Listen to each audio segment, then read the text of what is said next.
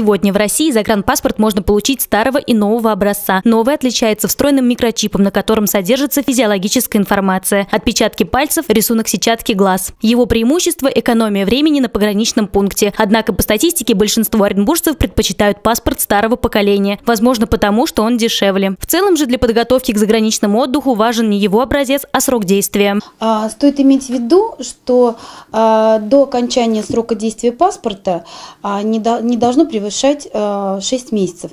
Если, например, у вас срок действия паспорта заканчивается а, в ноябре, то в феврале вас вряд ли пустят куда-то за границу.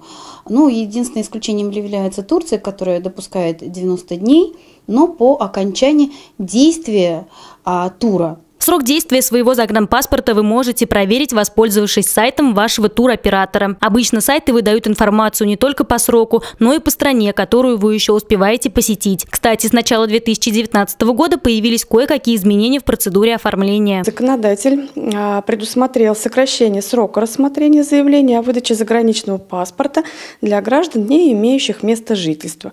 Если ранее они обращались с заявлением, которое рассматривалось в течение четырех месяцев, то сейчас этот срок сокращен на один месяц и составляет всего три месяца. Продолжает действовать скидка при подаче заявлений через единый портал государственных муниципальных услуг. То есть в настоящее время, а если оплачивать государственную пошлину за выдачу заграничного паспорта нового поколения со сроком действия 10 лет, государственная пошлина составит 5000 рублей. При оплате данной государственной пошлины через единый портал госуслуг а, скидка составит 30%, что составит 3500 рублей. При оплате госпошлины на на загранпаспорт старого образца через портал госуслуг сумма составит 1400 рублей вместо 2000. Подробную информацию о пакете документов для оформления паспорта вы можете посмотреть на нашем сайте или на сайте госуслуг. Валерия Шарова, Федор Бородацкий, городской телеканал ЮТВ.